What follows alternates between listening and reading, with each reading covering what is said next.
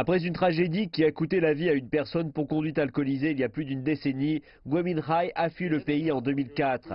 Puis il s'est rendu de lui-même à la police en Chine en 2015. Gui a ensuite effectué une peine de prison de deux ans. Mais il n'est selon la loi pas autorisé à quitter le pays alors que l'enquête sur son activité commerciale n'est pas encore terminée. Après sa libération, Gui a déclaré dans une lettre d'engagement à la police de Ningbo, dans la province du Zhejiang, qu'il continuerait de coopérer avec la police. Lors d'un entretien avec CCTV après sa détention, Gui a déclaré que sa vie à Ningbo était calme.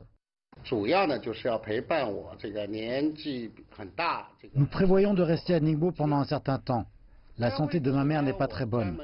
Nous avons loué un appartement à Ningbo et avons acheté du mobilier pour aménager. Durant cette période, ma femme est venue d'Allemagne en Chine.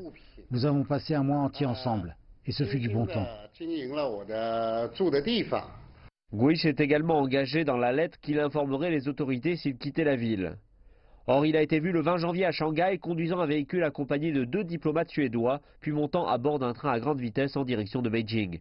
La police chinoise a déclaré que Gui transportait beaucoup de matériel concernant des secrets d'État et qu'il était suspecté de transmettre illégalement des secrets d'État et des renseignements à l'étranger, mettant en danger la sécurité nationale. Quand le train s'est arrêté à la gare de Jinan, dans la province du Shandong, la police a interpellé Gui et l'a placé en détention. Peu après son arrestation, les autorités chinoises de la sécurité publique ont informé l'ambassade de Suède de l'affaire Gui par le biais du ministère chinois des Affaires étrangères. Le ministère a également informé leurs homologues suédois de l'affaire Gui.